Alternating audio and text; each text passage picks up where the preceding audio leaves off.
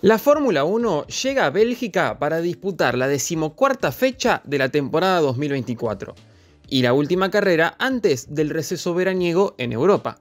Antes de atravesar un periodo de tres semanas de vacaciones en agosto, el campeonato llega a Spa-Francorchamps y con una intensa pelea por la victoria, la consolidación definitiva de equipos como McLaren y Mercedes en la pelea por la victoria, y la caída de Red Bull del cetro de dominadores absolutos de la temporada, se espera una emocionante carrera en el bosque de las Ardenas. ¿Qué podemos esperar del Gran Premio de Bélgica? ¿Quiénes serán los protagonistas este fin de semana en el regreso de la Fórmula 1 a Spa-Francorchamps? Bienvenidos a un nuevo video de Grande Premio en español.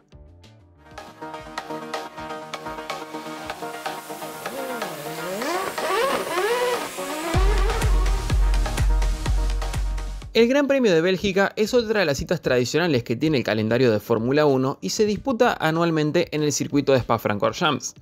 Considerado uno de los mejores autódromos del mundo y presente en el campeonato desde 1950, con el correr de los años sufrió diversas modificaciones que redujeron su tamaño y mejoraron sus condiciones de seguridad. Su primera configuración consistía en un circuito de 14 kilómetros de recorrido y la variante actual posee 7.000 metros de extensión. Este escenario ha sido sede de importantes sucesos en la Fórmula 1, como la primera victoria de Michael Schumacher en 1992, la victoria de Damon Hill en 1998 en medio del mayor accidente en la historia de la Fórmula 1 y la polémica entre Schumacher y David Coulthard, como también el escandaloso Gran Premio de 2021, el cual solo tuvo tres vueltas bajo el coche de seguridad tras un retraso de más de tres horas a causa de la lluvia. Max Verstappen ganó la última edición del Gran Premio belga en 2023 registrando también triunfos en Spa en 2021 y 2022. En el plano deportivo, por primera vez en el año, Red Bull no se perfila como el favorito inmediato para lograr la victoria. Si bien se espera un fin de semana competitivo para la escudería en un circuito de altas velocidades que favorece el trabajo aerodinámico hecho por los austríacos en el RB20, el rendimiento en las últimas competencias los ha relegado en la pelea del campeonato y actualmente no tienen la contundencia mostrada a principios de año. Además, se ven en desventaja por la sanción que recibirá Max Verstappen en Spa-Francorchamps. Al cambiar componentes del motor y exceder el límite para reemplazar elementos en su monoplaza, el tricampeón mundial retrocederá 10 puestos en la posición de salida para la carrera dominical, complicando sus chances de victoria en Bélgica.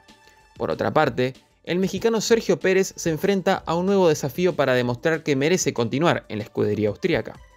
Tras caer en Q1 por un accidente en Hungría, y tras avanzar 10 posiciones en carrera para finalizar séptimo en un fin de semana complicado para su equipo, Pérez deberá demostrar que puede hacer una mejor actuación tanto en quali como en carrera. Recordemos que el mexicano está siendo evaluado por la dirección de Red Bull y deslizaron que, durante el receso veraniego, decidirán si el latinoamericano continúa o no en la marca de vías energéticas como piloto de su equipo principal. McLaren llega a Bélgica con un panorama positivo en lo deportivo, pero convulsionado dentro del equipo. Tras el 1-2 en el Gran Premio de Hungría, con la primera victoria en Fórmula 1 de Oscar Piastri, los de Walking se perfilan como protagonistas en Spa-Francorchamps, pero viven un ambiente tenso puertas adentro tras la orden de equipo vista en Hungaroring. La tensión entre compañeros de equipo, hasta ahora controlada entre Norris y Piastri, se disparó tras la última fecha, y desde la escudería buscarán contener a sus pilotos para no alterar los objetivos propuestos para lo que resta de temporada. En cambio, Mercedes vivió un descenso en su camino ascendente en Hungría. Los de Brackley, que habían recuperado el protagonismo perdido en el año, tuvieron un leve retroceso y estuvieron lejos de la victoria en Budapest, pero auguran volver a los primeros puestos en Spa y continúan trabajando en el desarrollo del W15, motivados por el progreso visto en las últimas competencias. Ferrari, a pesar de quedar con sus dos coches en el top 10 en la pasada fecha, aún está lejos del rendimiento esperado y auguran mostrar un mejor rendimiento tras la introducción de un nuevo suelo en el coche en Hungría, buscando acercarse a la segunda fuerza del campeonato, McLaren, de quienes están separados por 16 puntos en la tabla de constructores. Por detrás se espera una reñida pelea en la zona media de la tabla. Aston Martin, luego de un difícil Gran Premio de Hungría donde solo sumaron un punto de la mano del Ancestrol, buscará recuperarse en Bélgica y se proponen como objetivo puntuar con sus dos coches. Alpine presenta un, objetivo similar en este fin de semana, el cual será especial para la escudería, ya que tendrán en su coche una decoración especial para promocionar una película de superhéroes.